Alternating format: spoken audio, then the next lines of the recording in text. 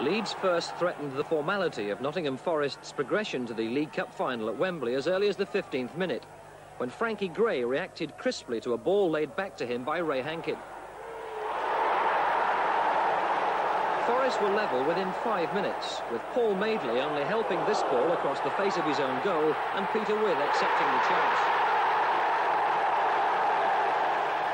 But within 60 seconds, Leeds were back in front. This time it was Larry Lloyd at fault, trying to hold the ball in his own penalty area and losing out to Arthur Graham.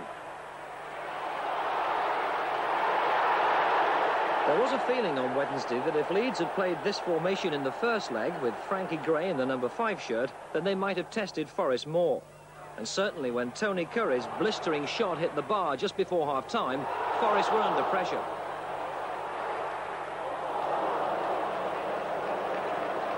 But Forest came out in the second half and scored three glorious goals. The first after just two minutes.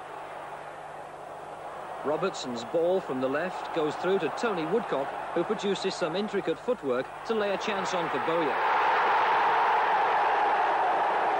Forest were now running a game that had briefly been in Leeds' control, and after 75 minutes, they scored again, with Bowyer threading a lovely ball through to Martin O'Neill.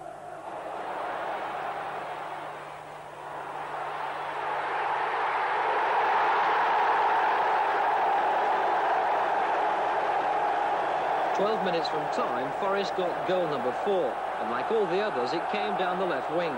Once again, it was Ian Bowyer who created the chance, this time for Tony Woodcock.